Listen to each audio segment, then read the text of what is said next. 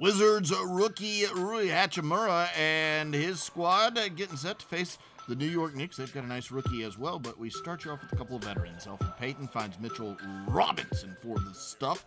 And New York's up by one.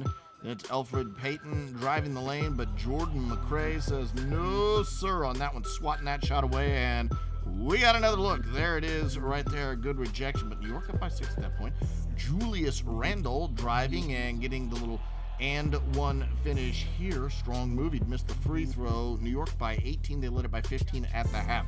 Third quarter, it's the preseason, folks. But Marcus Morris gets ejected after hitting Justin Anderson on the head with the basketball. Looked like Morris took a couple of elbow swings in tight to Anderson, and Anderson didn't really like it. Morris goes right there, and then again close there, and close one more time, and then just bops him, and that's enough for those two to get face to face, and Morris to get kicked out of the game.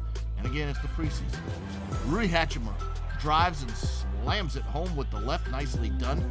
Jordan McRae later in the third misses the shot but gets it back and scores. And all of a sudden, after the made free throw, we are tied at 60 apiece.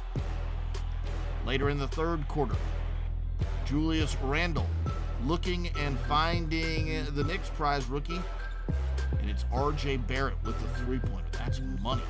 Then Wayne Ellington to Frank Ntilikina for the three pointer. That's cash.